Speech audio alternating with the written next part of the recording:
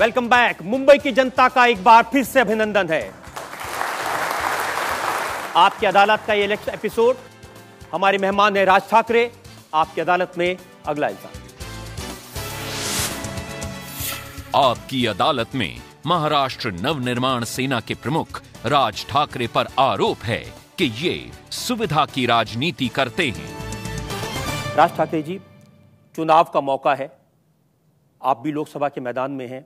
और सब लोग कह रहे हैं कि चूँकि आजकल नरेंद्र मोदी की हवा है, आपने पहचान ली है तो उनकी पूंछ पकड़ के आप भी अपना इलेक्शन जीतने की कोशिश कर रहे हैं।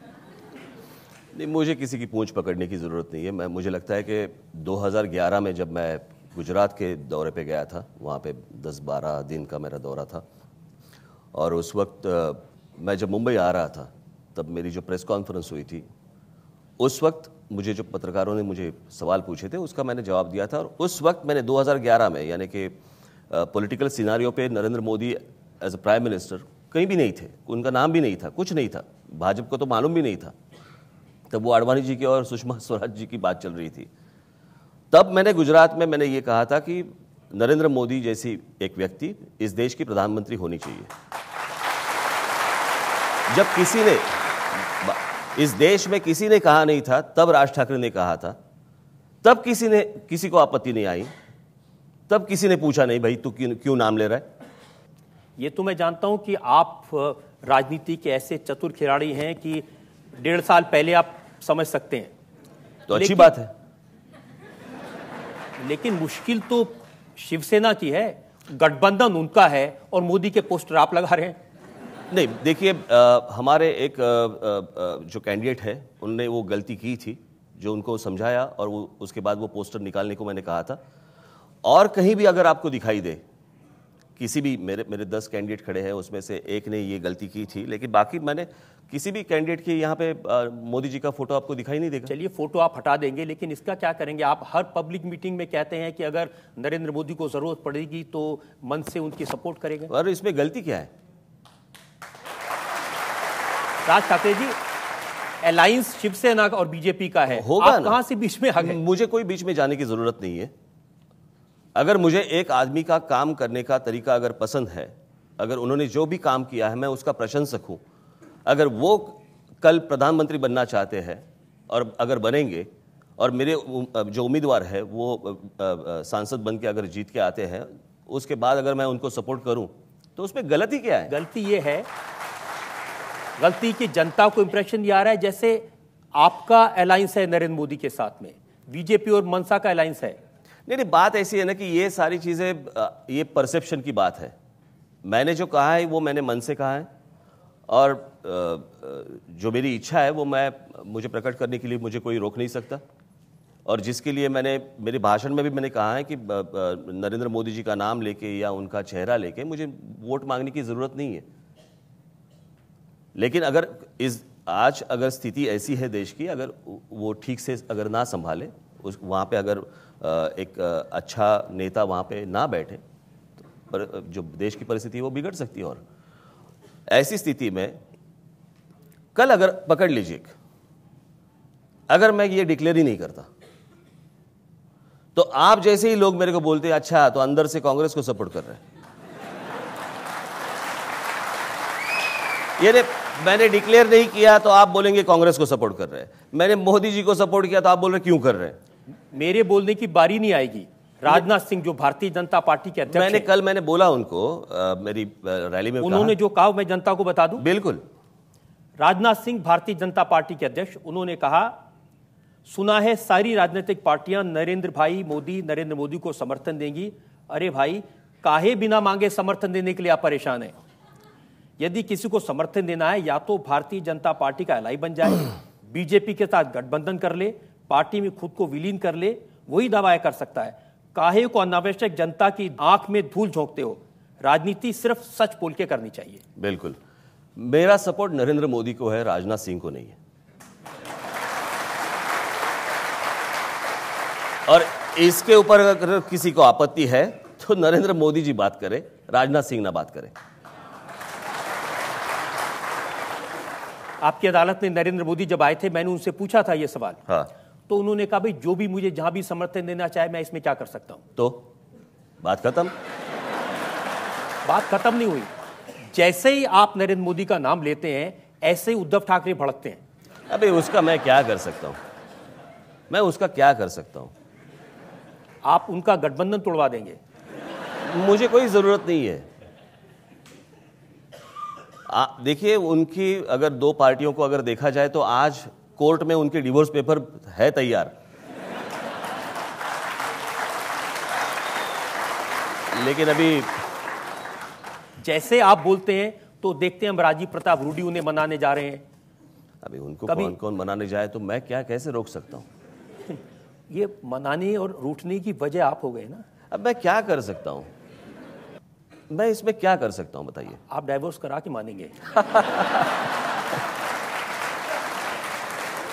नहीं मुझे मुझे किसी के घर में किसी का घर तोड़ना या किसी की घर में जाके कुछ डिवोर्स करवाना वगैरह इसकी मुझे कोई आदत नहीं ना ज़रूरत है ना मुझे ज़रूरत लगेगी। एक और घर है जहाँ आपकी बहुत बात होती है। उद्धव ठाकरे ने कहा कि शरद पवार के साथ आपका पर्दे के पीछे अलायंस है। उसके लिए पर्दा भी तो बड़ा होना चाहिए। देखिए इनके सांसद दिल्ली में कहाँ रहते हैं कहाँ जाते हैं किन पवार साहब के दरवाजे के बाहर कौन खड़े रहते हैं? एक बार आप दिल्ली के हैं आपको भी मालूम होगा कौन कौन वहाँ पे जाता है। मेरे तो सांसद है नहीं उनके घर के बाहर कौन रहते हैं आप ही आपको ही मालूम होगा। ये सवाल इसलिए पैदा होता है कि शरद पवार आजकल आपकी बहुत तारीफ़ करते हैं। अभी मैंने उनका इंटरव्यू पढ़ा वो कहते हैं कि उन, वो जब तारीफ़ करते हैं तो समझ लीजिए डरना चाहिए। वो जब गाली देते हैं तो समझना चाहिए चलो अच्छी बात हो रही है। वो कहते हैं कि एमएनएस से डरना चाहिए।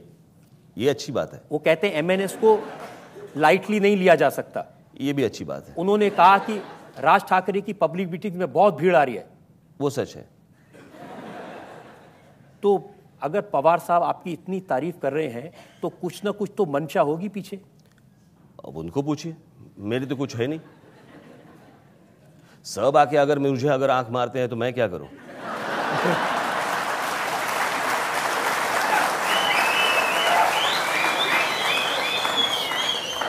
आप में से जो लोग सवाल पूछना चाहते हैं राज ठाकरे से हाँ, यहाँ फ़र्स्ट रो में। जैसा कि 2002 में नरेंद्र मोदी जी पे दंगों का केस है, सुप्रीम कोर्ट से।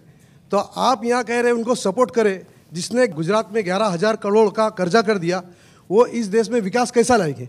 पहली बात तो यह है कि जो 2002 में हुआ, वो किसी को पसंद है, ऐसी बात नहीं है। लेकिन जिसके, उसके बाद जिस तरह से गुजरात की जो डेवलपमेंट हुई है, मेरे पास बहुत सारे ऐसे मुस्लिम भाई आते हैं जो आ, मेरे साथ बात करते हैं और कहते हैं कि जो अभी हुआ सो उसको कुछ नहीं कोई कर सकता। लेकिन अभी जिस तरह से वो डेवलपमेंट कर रहे हैं बहुत सारे मेरे इंडस्ट्रियल दोस्त हैं जो कुछ मुस्लिम हैं उन्होंने मुझे कहा कि जिस तरह से वहाँ पे डेवलपमेंट हो रही है जिस तरह से इंडस्ट्री को वहाँ पे लाने की कोशिश हो रही है वो मुंबई के हैं। उन्होंने मुझे कहा कि मुझे आज लग रहा है कि जाके गुजरात में बैठ जाओ।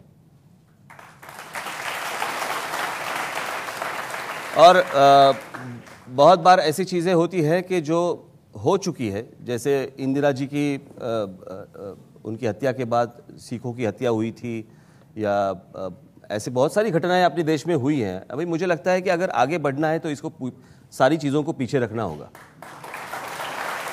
लेकिन राज मैं आप मैं आपसे ये कहना चाहता हूँ कि इनके जैसे जो लोग हैं जी। जिनके मन में 12 साल पहले की वो घटना आज भी ताज़ा याद है। बिल्कुल। हाँ लोग मरे थे सड़कों पर कत्लेआम हुआ था। जी। तो कैसे भूल जाए? तो फिर आगे कैसे जाए? कुछ तो एक बार तय करना पड़ेगा ना कि या तो वो भूल जाए या तो आगे चले जाए। अगर वहीं पे रहना है तो बात कर लो वहीं पे बात करते हैं।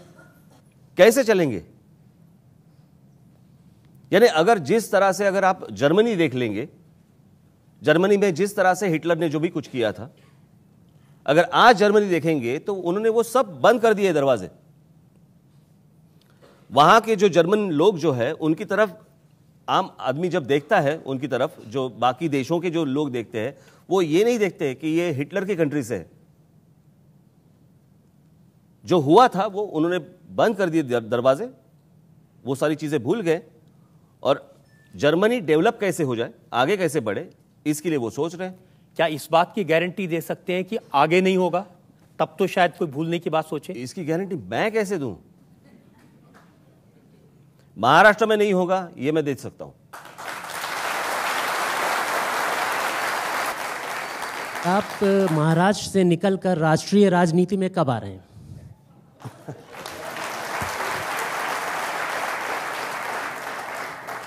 अ, महाराष्ट्र के बाहर की राजनीति मुझे करनी नहीं है। मैं ये जो सांसद भेजने की कोशिश कर रहा हूँ, वो महाराष्ट्र के प्रॉब्लम्स दिल्ली में समझ में आए।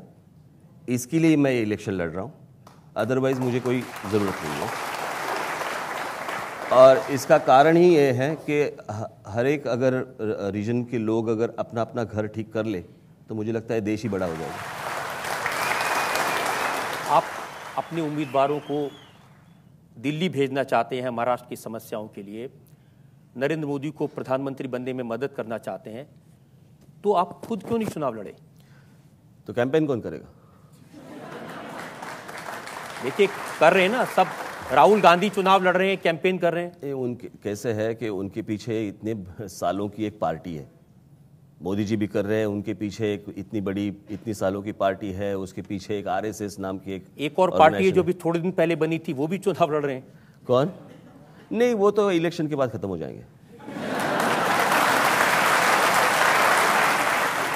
मेरा नाम इमरान मोदी है। जी। क्या है? इमरान मोदी। इमरान मोदी।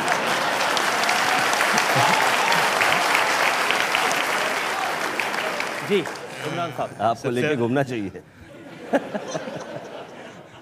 आप सब जगह जाते हो कैंपेनिंग करने के लिए तो हमारे मुंबा देवी एरिया में क्यों नहीं आते हो? ऐसे जैसे हमारा भिंडी बाज़ार है डोंगरी है आप वहाँ पे क्यों नहीं आते हो सर जी? बुलाइए आऊँगा। अरे सर आपको ऐसा लगता है कि हम आपका वेलकम नहीं करेंगे? मैं वही बोल रहा हूँ बुलाइए आऊँगा। हम तो हमेशा बुलाते सर जी। चलिए अब ये ज़िम्मेदारी आपके ऊपर हो गई आप बुलाइए और सबके सामने उन्होंने प्रॉमिस किया वो ज़रूर आएँगे। जी सर अभी बुलाएँगे आपको। बिल्कुल आऊँगा। और आपको आना चाहिए। बिल्कुल आऊँगा। थैंक यू पूछे अभी अभी आपने रजत जी से कहा कि शिवसेना और बीजेपी की गठबंधन सरकार की जो डिवोर्स पेपर है वो अदालत में है। सर आप ही बता दीजिए ये डिवोर्स होने कब वाला है? नहीं नहीं मैं मैं उसकी प्रतीक्षा में नहीं हूँ मैं। और मुझे कुछ लेना देना है नहीं कि उनका ऐसे ही मैंने मज़ाक में बोल दिया था वो। डिवोर्स पेपर बने ये तो आपने ही बताया तो कब होगा वो भी आप ही बताएँगे। नहीं जिस तरह से उनके बीच में जो लड़ाई चल रही है उसके हिसाब से मैंने कहा था और कुछ राज ठाकरे मुझे ब्रेक के रुकना है लेकिन इल्जामात बहुत सारे मेरे पास में आपने इतने सारे कारनामे किए हुए हैं। हम एक ब्रेक के रुकेंगे और ब्रेक के बाद आपकी अदालत में राज ठाकरे पर जनता के इल्ज़ाम और सवाल आपका एक और सवाल।